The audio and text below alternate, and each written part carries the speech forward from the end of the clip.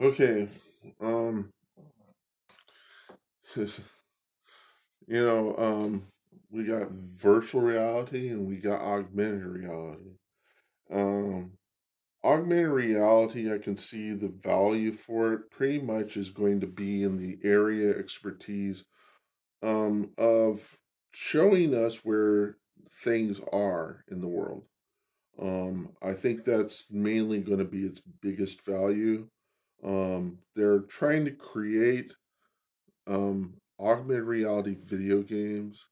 It's more, I think, it's more just that just to show them, just to show people how they can exploit what they know about your space. Now, I'm wondering why these idiots don't use this technology to create 3D copies of the world. Like, why aren't they going down and getting all of the famous architecture of Gaudi and putting it into a 3D space like Alt VR so that people will have richer architectural experiences rather than forcing people to create their own 3D worlds? I mean, people will create their own 3D worlds, but they'll do it really badly. It won't look fantastic and um, it's okay, you know, it's okay to have the people who create those 3D worlds. Um, they're going to be doing as most guys do is create an entire 3D world from basic um, 3D primitives. That isn't the most efficient way to do things because you have a tendency to create a lot of polygons whenever you're working with primitives such as spheres and and cylinders and things like that you know um, it's not like working with legos. Um, it could be more efficient. For instance whenever you create um, a set of objects with um, cylinders and spheres you could perform boolean operations on those 3d um, objects, and that would be a, a way of reducing the polygon count because your polygon count is going to determine whether you have mobile um, 3D graphic um, compatibility, mobile um, compatibility.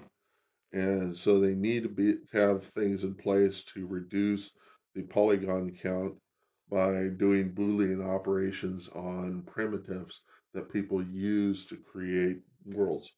Um, but they but Microsoft, you guys, um, you're not really doing shit, you know. Um, you guys need to be out there getting all of the major architectural works and putting them into AltSpace. Um, you need to be going out there and getting historical um, museums and things like that and putting those in AltSpace. You're doing not doing shit all you're doing is you're leaving it up the community to try to create um, content for AltSpace.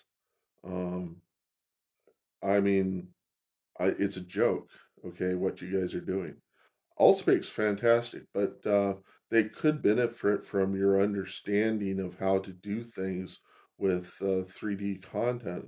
Because um, Lord knows Microsoft's been in the business long enough to do some quality 3D experiences. Um, you guys stole your 3D technology from SGI. Hey, I know your whole story. I can tell you how Microsoft came about um, coming up with um, uh, DirectX and and all this technology. It's what Microsoft always does. They never create um, technology themselves. They steal it from other people or they buy it up. If they can't buy it up, they steal it. And that's what they did with SGI. Rather than um, rather than supporting the OpenGL standard, which SGI wanted people to do, um, Microsoft instead recreated it internally as the ActiveX technology for, or you know, doing their uh, what was it their DirectX 3D technology and um, it's it's DirectX, but um, internally, uh, um, all that matters to Microsoft is it's not they never support standards. What they do is they get people dependent on themselves. It's this is the way it is. Um, Microsoft prefers people to be on their platform. If they're going, if anybody's going to create standards, they're going to do it inside the realm of Microsoft. It's just like Walmart. Um, if you're going to be selling something, the Walmart prefers it to be within the realm of Walmart. This is where every corporation is. Um, this is where capitalism falls down. Capitalism uh, tends to produce monopolies when at its worst. It produces monopolies, and Microsoft is this way. Um, I don't mind Microsoft researching augmented reality technologies. I don't mind them buying up AltSpace. Um, I just can see somewhere down the road we're going to pay for it because what Microsoft does is they will leverage these technologies to make money. It's just how they work. Um, it's the nature of the beast. Um, it says in the Bible, um, if a man produces bad fruits, it must be a bad man. It goes the other way. A bad man will always produce bad fruits. Um, they don't produce good fruits. A good man produces good fruits. Uh, Microsoft is great at marketing. They're great at telling everybody that they really are better. Uh, what they say are wonderful, fantastic words like Trump. Trump is really good at this. This is what Trump does. He is really good at marketing or about advertising who he is. He, uh, but the reality is the guy is a shithole, and he creates shit. That's what Trump does. He's really good at marketing and advertising his message. He is not good at proving to the world that he is actually good, which he is not. He's never been good. Okay. Um, Microsoft is kind of the same way. The only reason why Microsoft even exists is because Gary Kildall decided that he was not going to, um, that he wouldn't give the time of day to IBM. His wife wouldn't give the, uh, the time of day to IBM. Uh, they figured that their technology was above IBM and our CP/M, and they lost out to somebody else who was lesser than them, which was Microsoft. All Microsoft had was BASIC. Um, they were not known for creating operating systems. The only reason they got an operating system is because a guy across town had uh, a flavor of something like CP/M. He looked at CPM and said, I can create something with the interface of CP/M. Um, and that's that's how he created that technology. It's a funny thing. It's funny how history goes about. Um, in the open source, we got a technology called Wine. You know what Wine is? It's not an emulator. That's what it stands for. Wine is not an emulator. You know what it does? It basically implements the Windows API to all of uh, the uh, the application programmer's interface. It program it basically um, makes the applications think that it's running that they're running on Windows when in fact what they're running on is Linux or on Macintosh. Um, it basically translates what Microsoft has. It, it translates their language for their operating system into the language of competitive operating systems. That's what Wine does. It It does it fairly well. It does it more for video games because um, it's easier to to um, well, video games just use a subset of what's in the the Microsoft operating system. They don't use the full set of language uh, of um, of the API.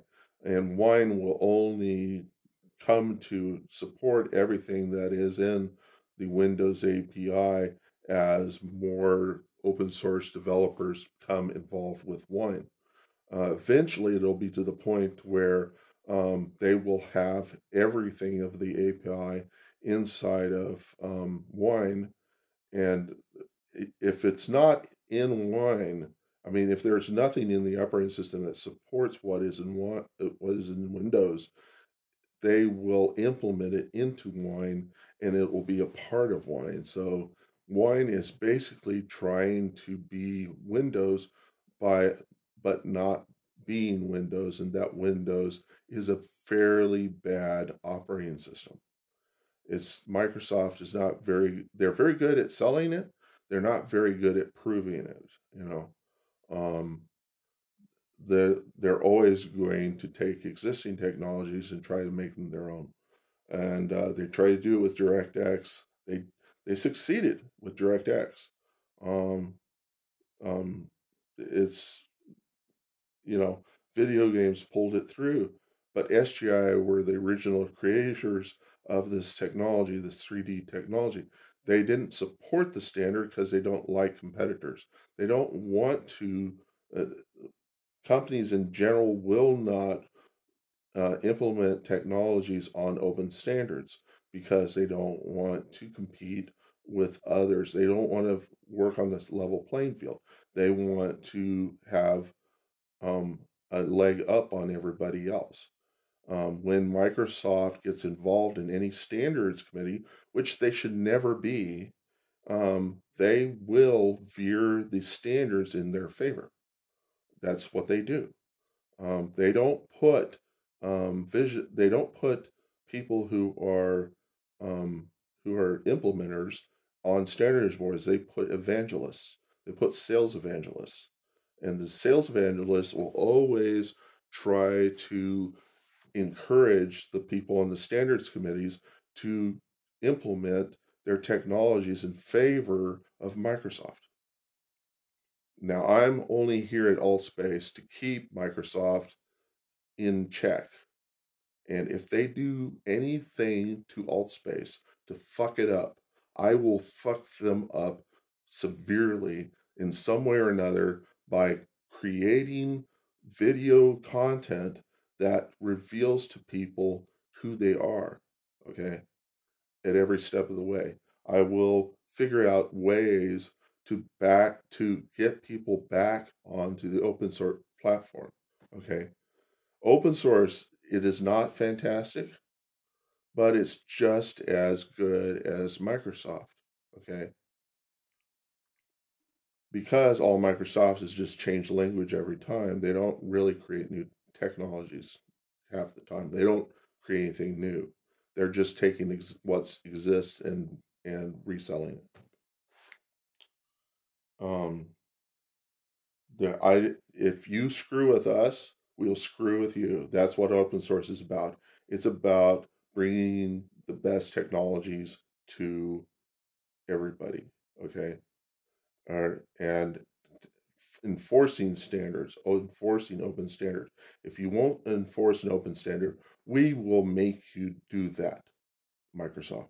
We will make you do that and to all the creditors that, that support um, Microsoft and buy Microsoft and all other corporations, fear me.